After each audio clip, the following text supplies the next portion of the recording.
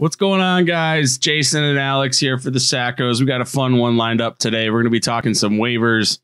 We got a heck of a lot of COVID news going on. Uh, also, Will Fuller does drugs, and uh, yeah, I don't know, not the recreational kinds. So there's that. So it's Let's week just dive in. 13 waivers, even though it's still week 12, even though it's not week 12 anymore, but it's week 13, but it's really not. And week 13 is going to last for like six weeks. And then next week will be week 14, even though week 13 won't be done. Let's do it. couldn't have put it any better. Welcome to the Fantasy Football Sackos podcast with your hosts, Jason Shellcross and Alex Krogh. Let's go! Fantasy football Sackos. Again, Jason, Alex here. Thank you guys so much for joining us. It's been a heck of a week 12, and uh, we got some interesting waivers here. Um, how you been, Alex? How'd week 12 go for you? Any better than the first 11? I mean, it's it, it's been like a two, it's literally been a two week week twelve, um, which is hilarious uh, in many respects, or at least to me. If I mean, the only reason I'm laughing is because otherwise I'd be crying. Honestly, um, being a, a commissioner in, in multiple leagues has been absolutely terrible, and trying to trying to ride the rocky waters. Uh, I am uh, 16 and 32 on the season, which equates to a 33% winning percentage for those of you who uh, are keeping math at home. Um, so I am officially out of it in all four leagues, which just sucks. Um, so yeah, here to uh, educate the the Sackos on um, you know how to make your team better, even though I don't listen to myself. But Thanksgiving was great. Um, had a lot of mashed potatoes with cream corn on it, so that that made my uh, made my stomach happy. Uh, turkey's delicious, and uh, wish the football was a little bit better on Thursday, or there was more football on Thursday, but it'll be okay. How are you? Uh, I'm great, and I'll just say that if you were hitting 33% in the majors, you'd be a Hall of Famer, and you're a Hall of Famer in my book, Alex. So that's what really matters. Um, Sack Daddy, baby. Thanksgiving was great. Uh, great seeing family. Uh, football wasn't so great. What can you do when the Steelers Ravens get postponed six days eventually? Um, oh, that's going to be such a mess. Play J.K. about. Dobbins, apparently. Uh, yeah, I mean, that's one of the things everybody's dealing with is Dobbins and Ingram were supposed to be ineligible after both testing positive for COVID one week ago today. But now, because the way the quarantine works is if they test negative after 10 days, they become eligible again. And because the game was postponed six days from last Thursday to now this Wednesday, it's the 10 days. And Dobbins and Ingram are now eligible. What are you doing about people who would like to use Dobbins and Ingram in their lineups? Because I mean, a lot of people like the, a lot of people are, you know, you can play players, but you have to designate a backup. But these players had the out designation and tested positive on Monday for a Thursday Yeah. game. So there was no way that anybody designated a backup for these guys. So do you think that you should be able to play them, or do you think that managers should just bite the bullet and have to stick with them on their bench? Or do you have to I you can't be expected to clear a bench spot for them though, right? Because they're going to be if if they're active Thursday, then you're supposed to clear a bench spot for or Wednesday when they play. Then you're supposed to have a bench spot for them, and they're just chilling in your IR spot. But everybody else has already played, so you can't even put them on your bench.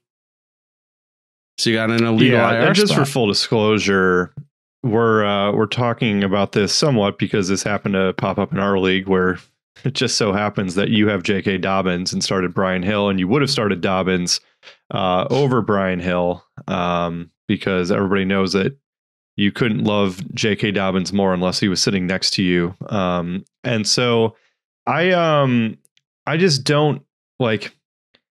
I've kind of gone with the if it's fair, you sh- you just got to make exceptions for it rule um, all year. Figure it like you just kind of bend over backwards for people.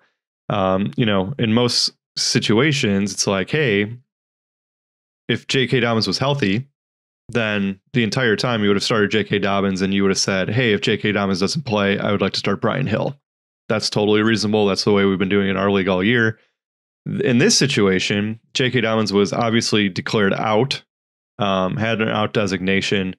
In no universe would you have ever said, "Hey, I'm starting J.K. Dobbins," even though he's out. Um, and if he doesn't play, I'm starting Brian Hill. That that would have never happened in any world because it wasn't even a thought that he was ever going to play.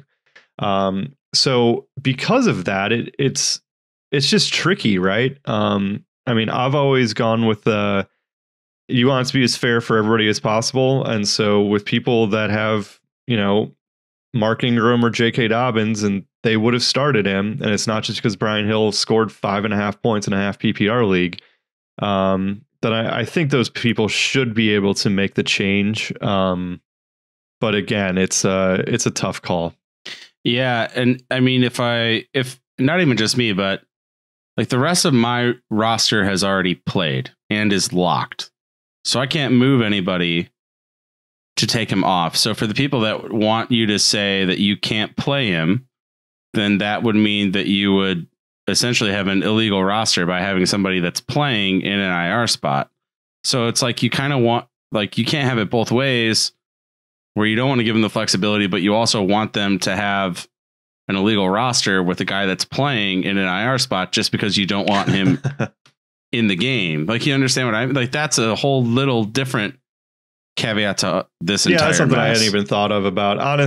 Honestly, I just want the game to get canceled and we can just move on. Just just That move make it on to next week. Um, but by all reports, the the Ravens and Steelers are playing Wednesday night, week twelve. It's Uh, not even nighttime because the so- ball cer- the or, Christmas yeah, Wednesday ceremony afternoon. three thirty. Yeah, But yeah, it would definitely make thirty central. There you go.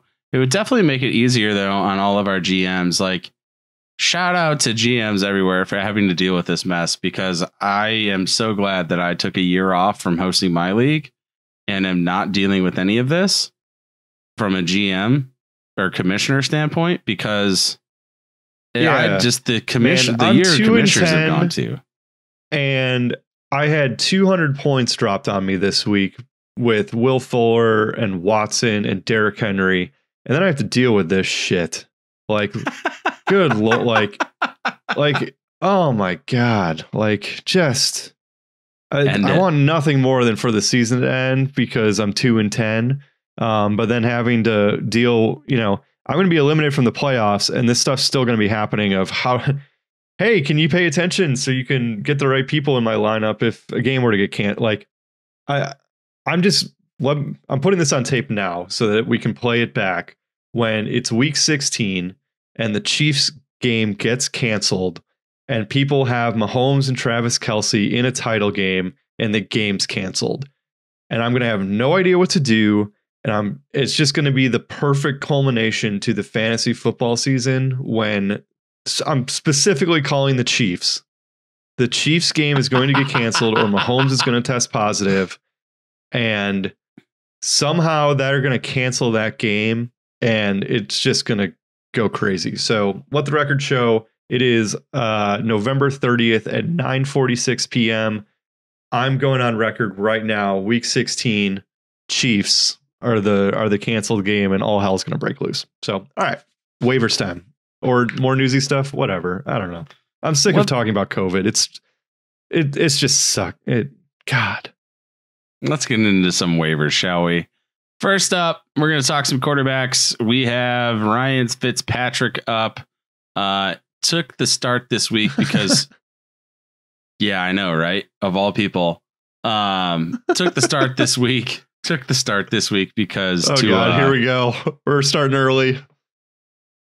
Tua was not good enough to go. Um, and so Ryan Fitzpatrick was able to post a 24 of 39 for 257 yards and two scores, plus three rushes for 10 yards on the ground against the Jets here in week 12. Um, he targeted DeVante Parker 14 times, um, which is Yeah. very nice, but uh, both of his scores went to the tight end position. So there is that. Um, he's only rostered in 21.5% of leagues. I don't know if Tua is going to be able to go next week with his thumb injury. Um, are you spending any fab on Fitzmagic? Do you believe in Fitzmagic? No, I don't think so. You can probably pick him up for free. Uh, enough enough people have quarterbacks that are um, rostered. He he was just be a flyer. I'd be surprised if somebody's picking up a second quarterback for any reason at this point. Um, bye weeks this week. Uh, there are two with with Tampa Bay and Carolina, so maybe somebody looking for a, a Brady replacement. Uh, Fitzpatrick would would fit the bill, especially against Cincinnati this upcoming week. Um, also, don't forget that Gesicki had his usual five targets, so um, you know, that was the same with Tua and the same with Fitzpatrick. So his value didn't go up or down all that much, although he did have a touchdown, which obviously helped. Um, so yeah, it seems like Fitzpatrick always kind of delivers when he's in a plus matchup. Cincinnati would fit that description. He delivered against the Jets. I would have no reason to doubt why he wouldn't against the Bengals. Um, I personally started Fitzpatrick up and started him over Roethlisberger this week once I knew that he was playing. Um, I, I, think that he's a he's a fine play going forward. I don't think you need to spend any fab on him though. Yeah, I agree. I mean, especially in a spot start against the Bengals this week, I think he makes a fine streamer play. So that is our QB stream of the week. Let's move on to some RBs, shall we? Um, first up, we have Cam Akers, who dropped a nine for 84 and one touchdown line this week for the Rams against San Francisco uh, rostered in 28% of ESPN leagues. Are you spending any fab on Cam Akers? I love again if if you, from a couple weeks ago when we did waivers and I said who's the next crappy player that we're talking about and it happened to be Cam Akers. Um, you know, since then, last week he had a touchdown. This week he had a touchdown.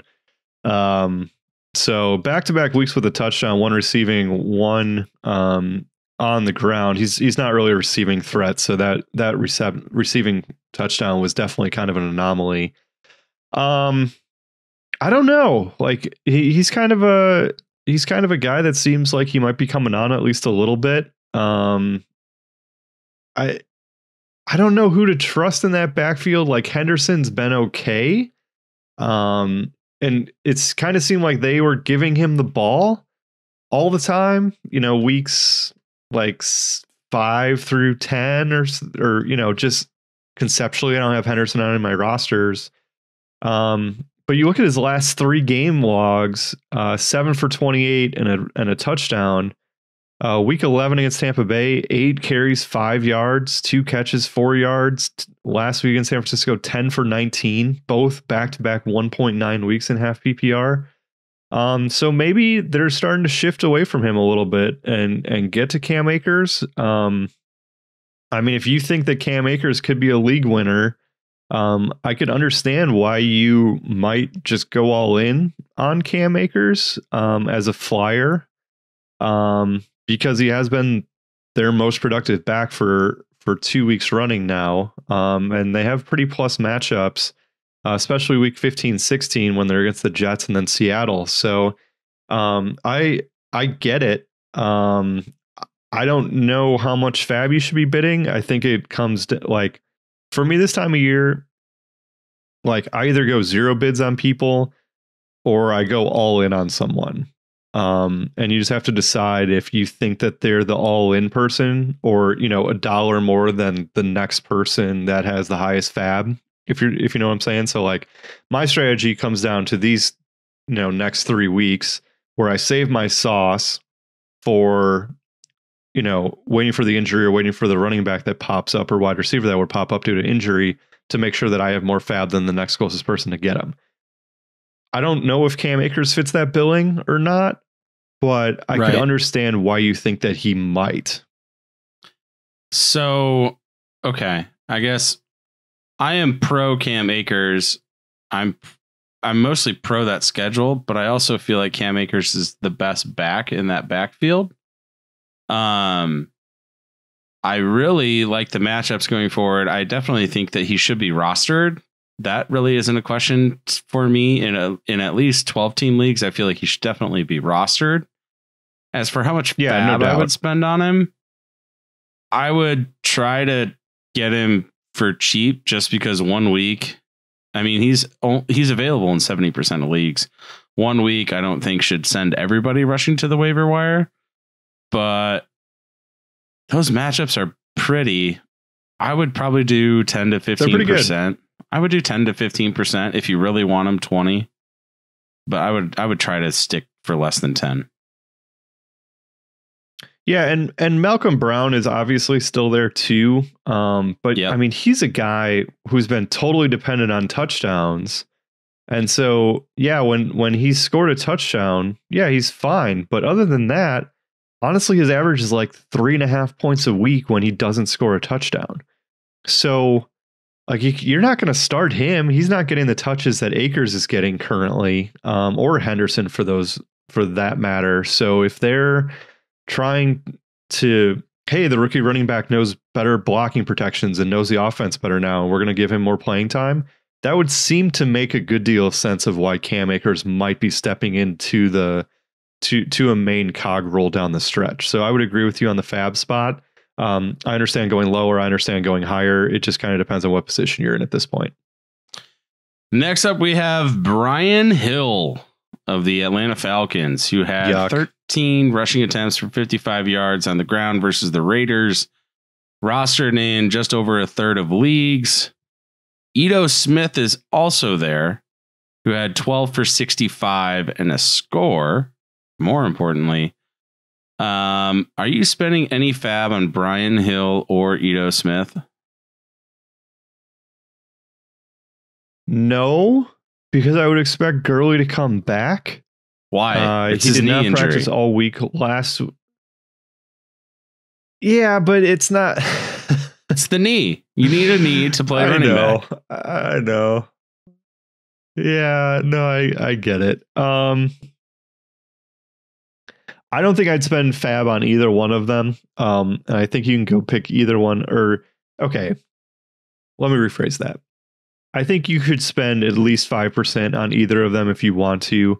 Of the two, it seemed like Ito Smith was the guy, but that's only because they were ahead by so much the entire game and somehow blew out the Raiders, which I will never understand how the hell that happened. Um, but I mean, do yes, Gurley has had all of the touchdowns this year. Like the only reason he's been a productive back is because he's scoring touchdowns.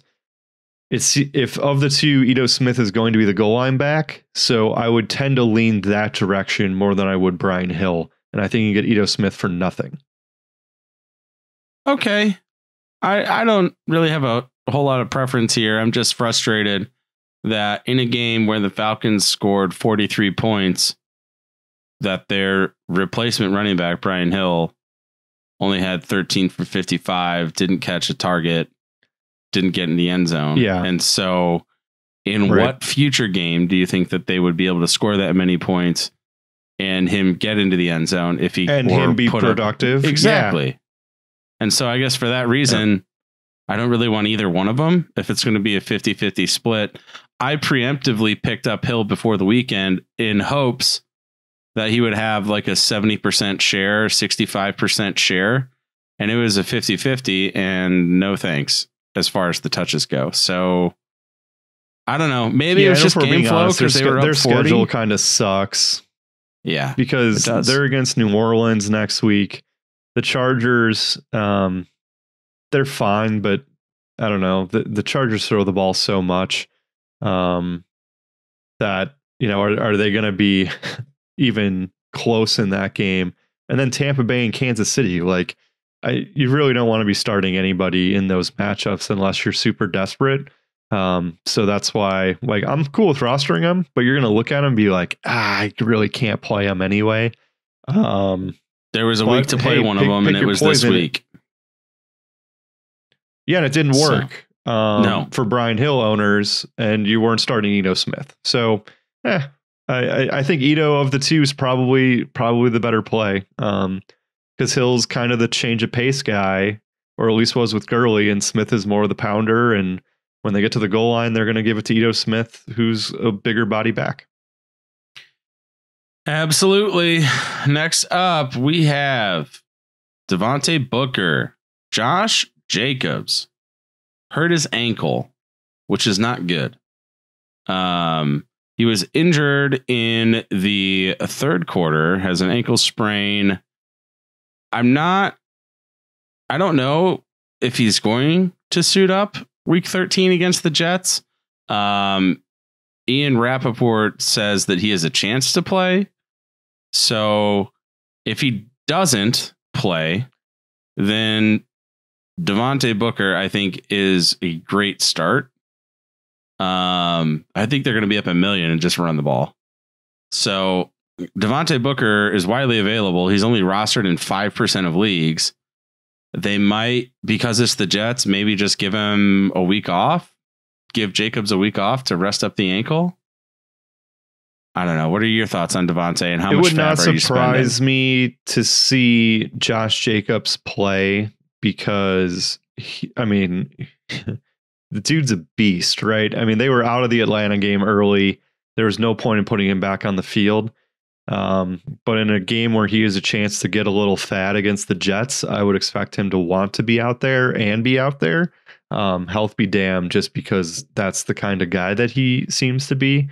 Um, I, I think you could look at Booker as a speculative ad, um, but I would work under the assumption that Jacobs is going to play. Um, and for that reason, I would not be bidding a bunch on Booker. Yeah, I agree. I guess my thoughts go back to last year when he played for like two months with a broken shoulder blade, and regardless of the Right. record, and didn't care and played through the pain. So I think bum, bum, wheel, and all, I think he's still going to be out there if he can. Maybe if he sits, I would absolutely try and pick up and plug in Booker, maybe stash him until Sunday and drop your defense to try and hold him in case Jacob sits. Um, but yeah, Yeah. that's about all I try to do and spend less than 5% of fab doing it. Next, we have the eternal, the never going away. He is eternal. He Give is to me. he is Frank Gore. He had 18 18 rushing attempts for 74 yards, three catches for 12 yards, rostered in a whopping 19% of leagues. Everybody knows he's a starting That's running back, low. but nobody wants him He is. because that team sucks. You should. You should want him. But he is Frank Gore. How much fab are you spending on Frank? You should spend all of your fab on Frank. No, I'm just oh, kidding. Lord. Um, I uh, um, I have no reason to not think he's going to have at least fifteen to eighteen touches in every game the rest of the season, provided he stays healthy. he plays um, and. Yeah. I understand. I, I I get it, but the touches are there. The touches are just there. So you cannot tell me when he's only had under 10 touches twice the entire year, and now he's the only guy there. Quantity's king. Uh, opportunity is is the best. So, um, I mean, if if you're telling me that that he should not be rostered. I think that's ridiculous. I mean, a starting running back should be rostered in at least 80% of leagues, um, no matter re- how regardless crappy. of the team that they're on, especially if they're the only running back there. Um, so yeah, Frank Gore. Um, honestly, I would spend 10% fab on him just to get him, and you can plug and play him if you need him the rest of the season. He's going to be there. He's not going to have the high upside, but he's going to get you at least seven points or thereabouts every week. Um, and if he knocks in a touchdown, then you're in business. Yeah, I got the Raiders this week. And hey, if the Falcons can destroy the Raiders, then so can the Jets. So there you go.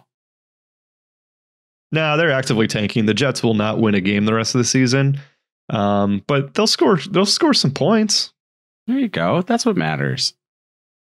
All right. Yeah, You and your 10% of fab can have him. I'm spending like between zero and five because I hate him.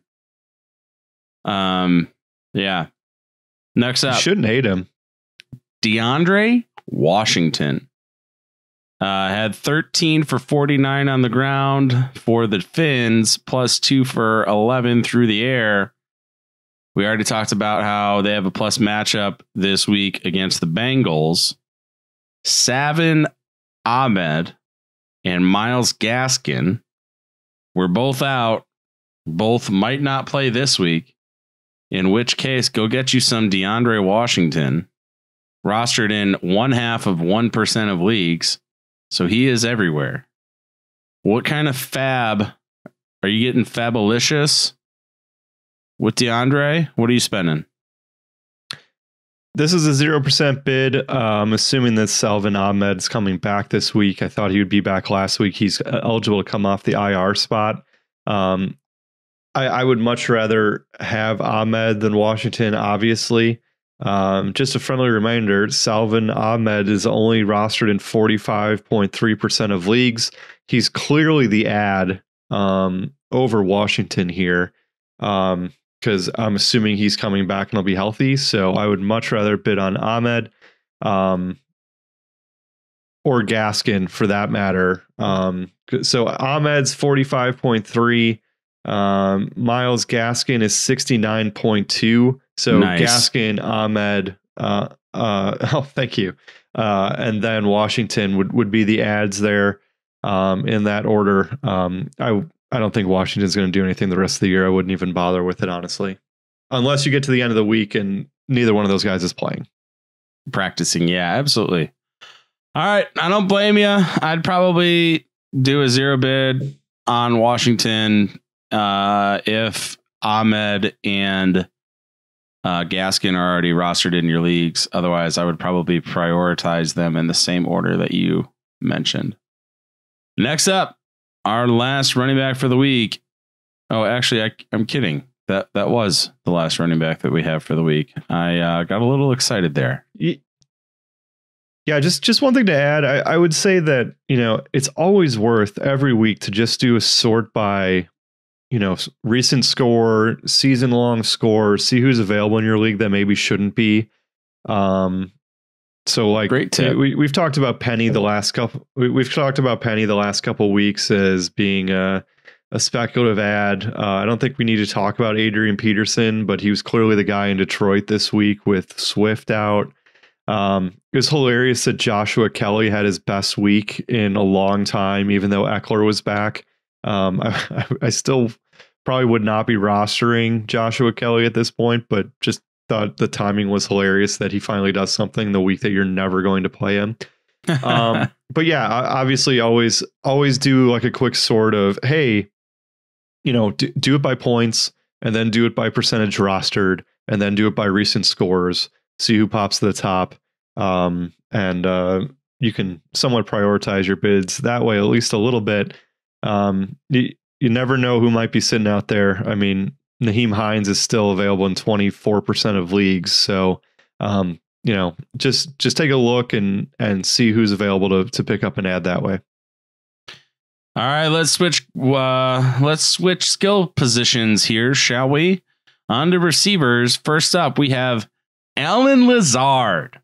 Future Hall of Famer Allen Lazard uh, dropped four catches Awful. for 23 yards and a score on six targets in his, uh, I, don't know if it was his first week or second week back. Um, but up against Chicago, second, second week back, rostered in 28% of leagues. I think he's probably the wide receiver too in that offense. Um, how much fab, if any, are you spending on Lazard? I don't think any, um, because Davante Adams is such a big vacuum in that offense that you know on a week to week basis he might be playable. Um, but the only way that he's going to be a league winner is if Davante Adams were to get hurt.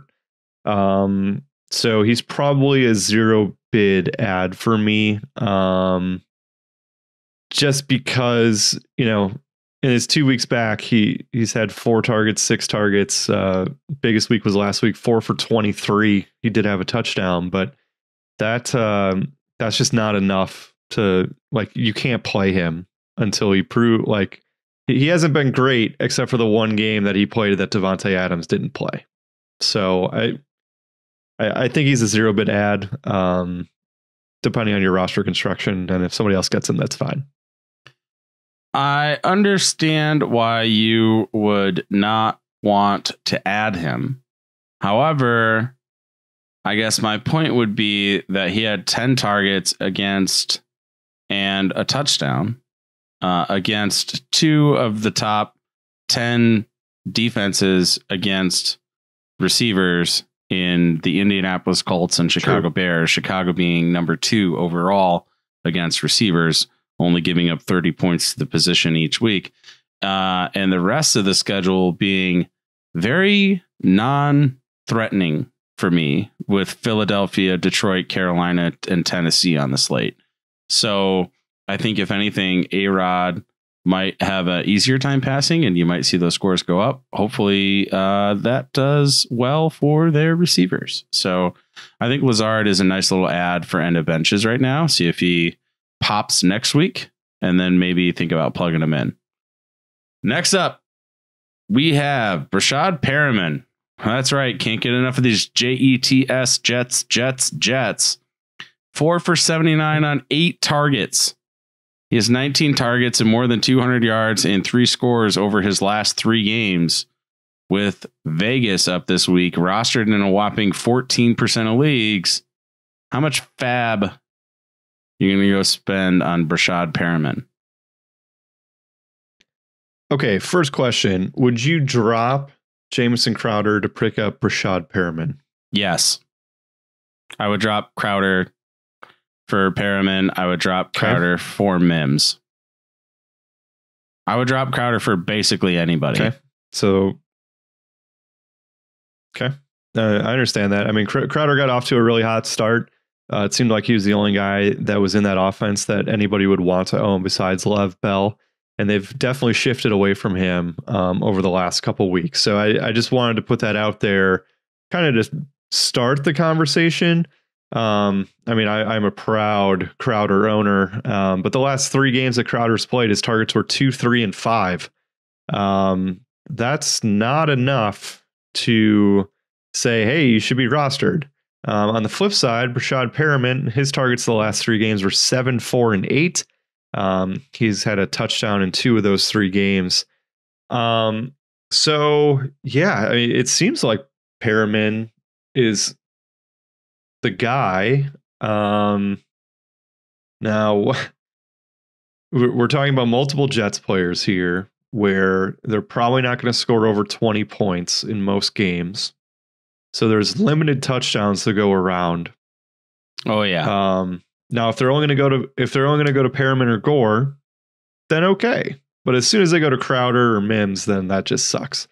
Um, so I, I honestly think you can probably get Perriman for a less than five percent bid um, because people probably aren't paying attention to him or that offense. Um, again, to your point, roster in only fourteen percent of leagues, um, but he's somebody that you know they're going to be behind. They should have game script in their favor most weeks um, and be trying to put up some points in garbage time. And if he's facing prevent defenses, uh, fantasy fantasy football it doesn't matter when you score the points. It's as long as you score the points. Um, so like like you think back to like DJ Chark being like a garbage time all star last year with um in you know in Jacksonville with, with Minshew. I I mean why not? I mean Darnold's a better quarterback than Flacco. He's back. Um, so yeah, I, I think you get Perriman for less than five percent, and I think he's more than playable.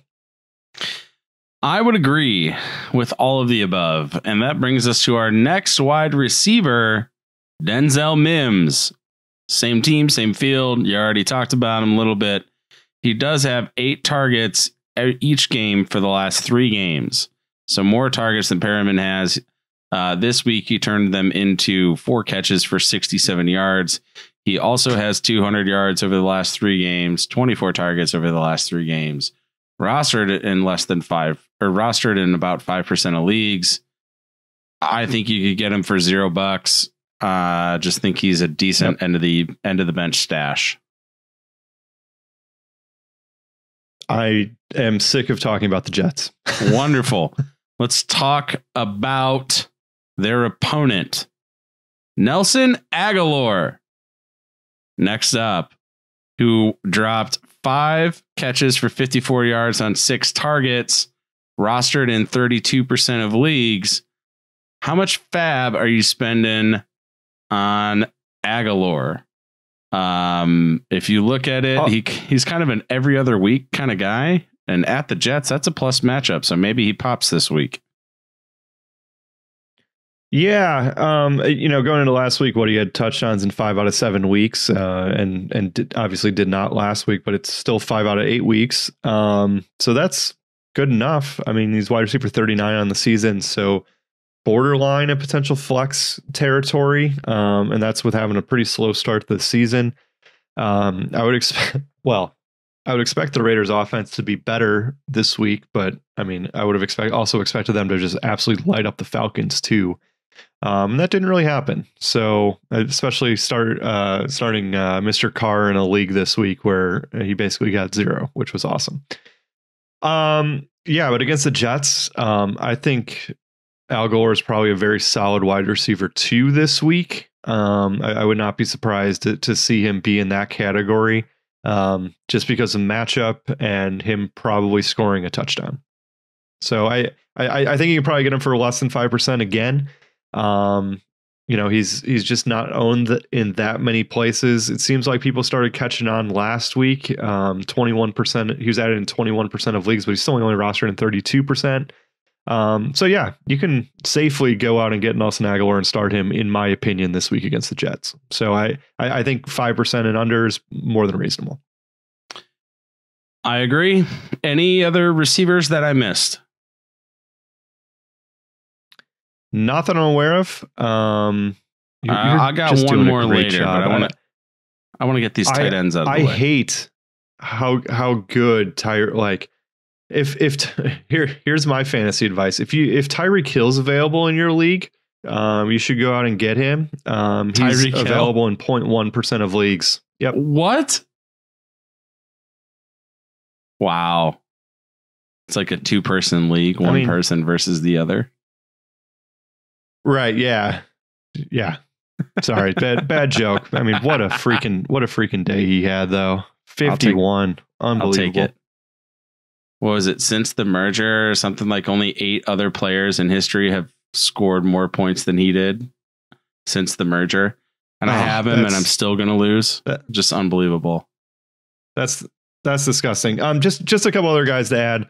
Uh, I would not add Collin Johnson, who was with the with the Jaguars. Uh, Mike Glennon uh, looked his way quite a bit, but I, I don't think he's worth adding. Uh, DJ Chark theoretically will be back. Uh, T.Y. Hilton, um, or the the corpse formerly known as T.Y. Hilton, uh, had 16 points and a half PPR last week. I, I don't think he's worth adding either. Um, Chad Beebe had his first career touchdown. He's not worth an ad, but he had 13 this week. Um, Bisi Johnson was fine, but that's only because Thielen didn't play. So there there is just not a whole heck of a lot of of guys that are are sitting out there that that went off this week that you'd really want to be going and picking up, other than the people that we've kind of talked about. Yeah, we've mentioned Jalen Reagor a few times, but I mean, in tonight's game, there's only two minutes left. He has three catches for 11 yards.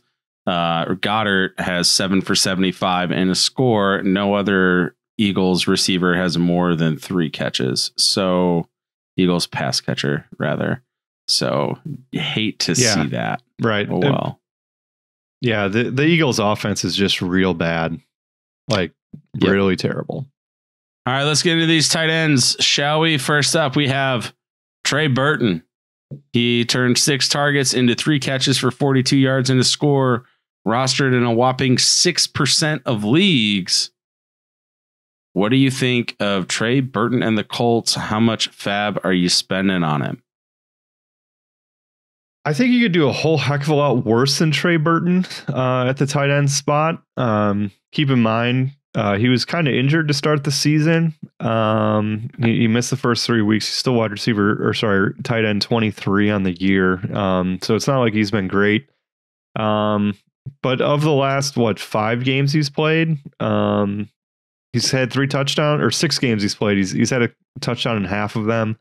Um, yeah, he had a couple disappearing acts in there, but I mean, in every game that he's played, he's had five or more targets, except for one, or sorry, four or more targets, except for one.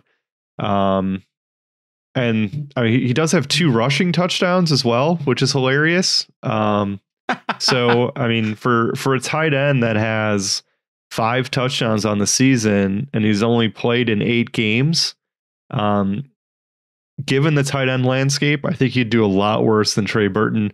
Um, that entire position is dependent on touchdowns anyway. At this point, it seems like, except for a couple guys. So, I mean, he's just as good a dart throw as anybody else. I, I would not spend any fab on him though.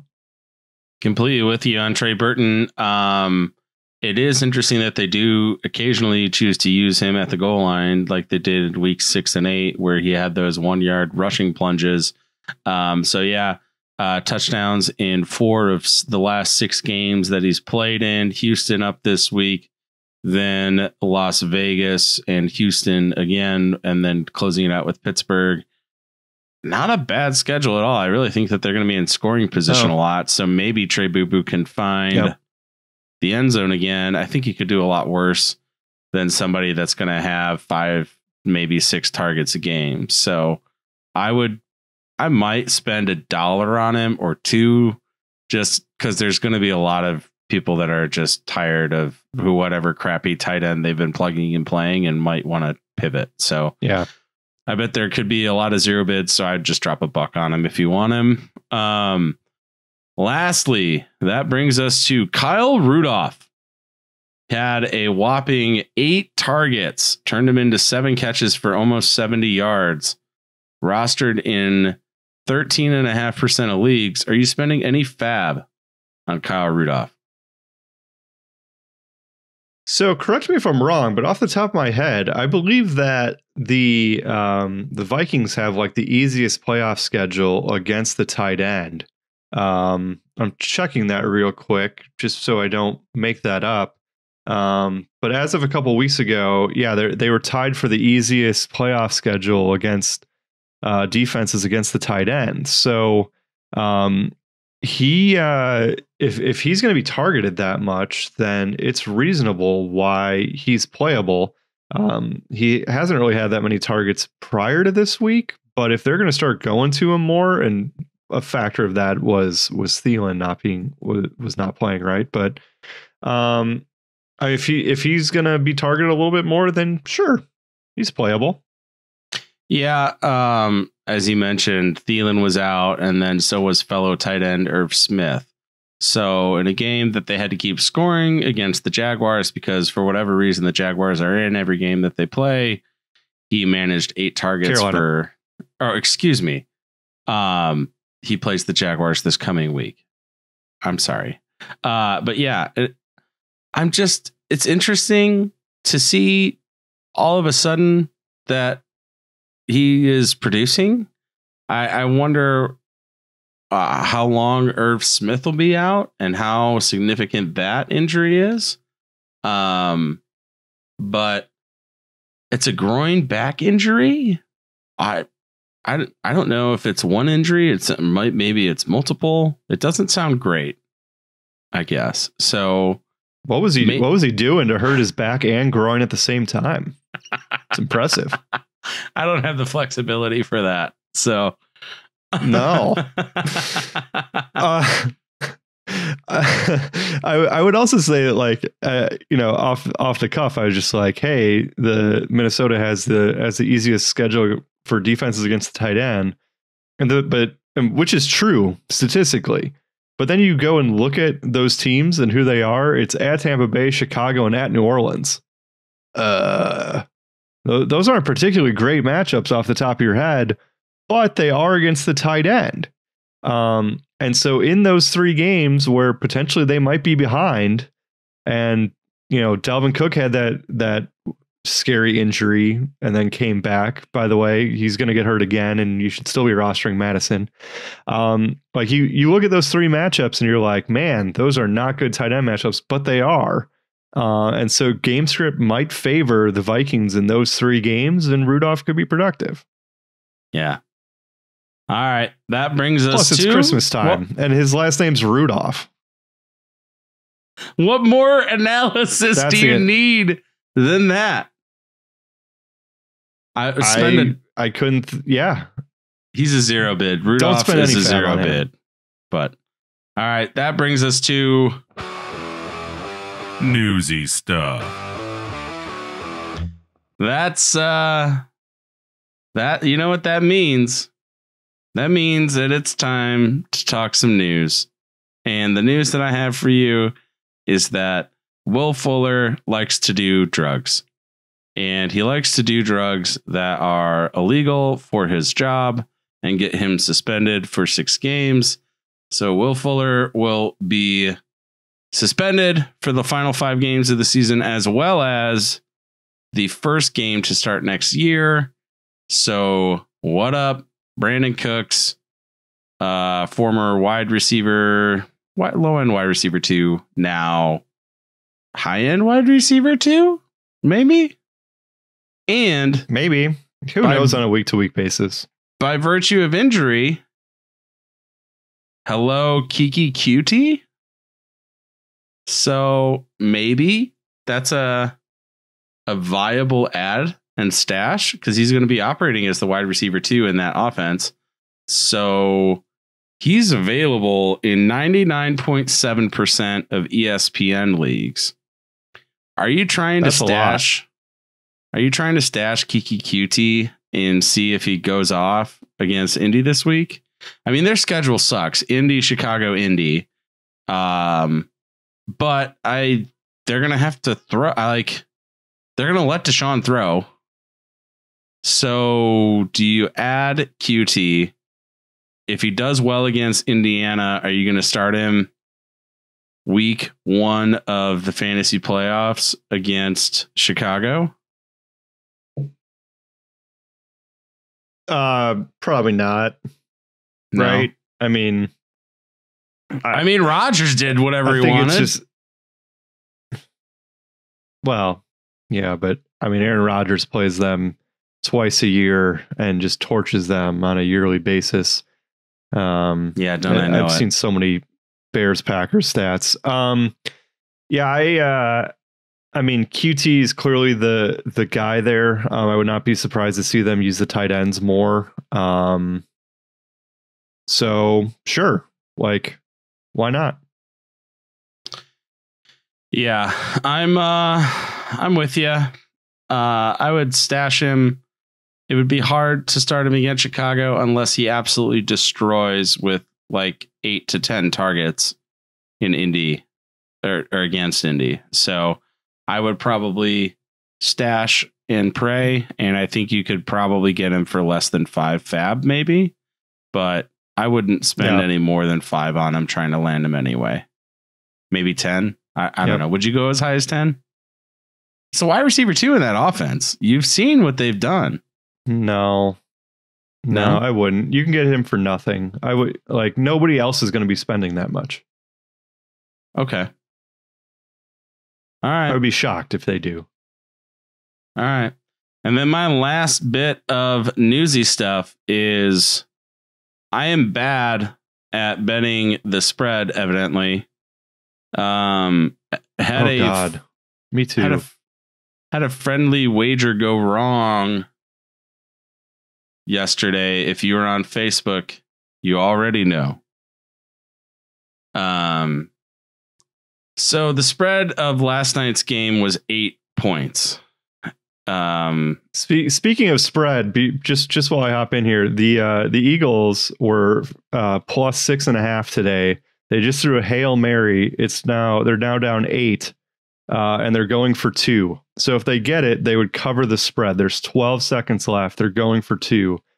Um, who scored?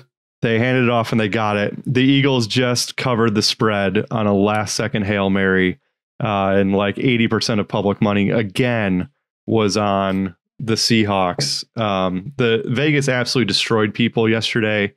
Um, uh, all of the home underdogs covered uh, from a betting perspective, or almost all of the home underdogs covered from a betting perspective.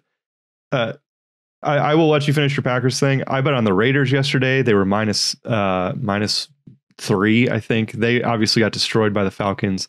I bet on Kansas City minus three and a half.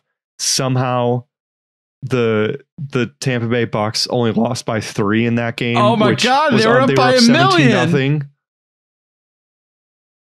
Yeah, they covered the spread. Oh, Um, I, I bet on I, bet on Arizona minus one against the Patriots, who somehow lost that game. Um, they seemed like Cliff Klings, Kingsbury uh, tried to lose that game, and he was successful. I bet on the Browns minus seven against Jacksonville, who gave up a last couple minute touchdown to Mike freaking Glennon. Um, I got absolutely crushed. Oh yeah, and then I bet the Bears, um, just like you. Yeah. So I bet the Bears side because I figured eight point spread. There's no way. There's no. There's no fans in Lambeau. Like the Bears aren't going to lose by more than eight points, and so I was wrong. And so because I was wrong and they lost by a million, uh, I had to change my Facebook profile picture to Aaron Rodgers and I had to make a post about how much better the Packers are than the Bears um, and how they are the superior organization. And so with that, there were 14 minutes left in the fourth quarter and the Packers were winning 41 to 10. The Packers have won 45 of 64 head to head games since I was born. The Packers have had 13 different starting quarterbacks in the 31 years I've been alive. And that includes all the backups that get spot starts when Brett Favre and Aaron Rodgers miss a couple games here and there over the last 30 plus years. And in the last 31 years, the Bears have had 35 different quarterbacks compared to the Packers 13. So just rough, rough being a Bears fan, jealous of everything the Packers have had at the Packer at the quarterback position. Um and my yeah, that's that's basically that's a bet I lost today. Or well, yesterday that I am still paying for. I don't know how long I have to keep my Facebook profile picture as Aaron Rodgers, but I guess here it is. I don't, I don't know. How long do you think I should keep it up? A week? Yeah. And yeah, that's fine. And then like one, you know, one of the games that wasn't started by Brett Favre Aaron Rodgers the last couple of years, or you know, even going back was in 2012 or January 2012. And I specifically remember this because I, I was up in Minnesota watching a Bears game. Um, Matt, like Matt Flynn comes in and throws for six touchdowns against the Lions. I remember Like, that even- game. Even, when Rodgers and Favre because of that game. then- yeah, yeah, no, he got paid Went by the Seattle. Seahawks a, a lot of money, and then and and then Russell Wilson showed up, and they were like, "Why are we going to play this guy?" Right? So yeah, being being a Bears fan sucks. Um, being a Packer or Packers fan is really lucky. Yeah, it is. All right. With that, let's uh, transfer to the social media page. Thank you guys so much for listening to today's episode. If you found any of it enlightening, entertaining, uh, please go ahead and hit that subscribe button, hit that like button, ring the bell if you're watching on YouTube. And uh, thank you guys for watching. Have a good night and go, pack, go. Oh my, you need to wash your mouth out with soap.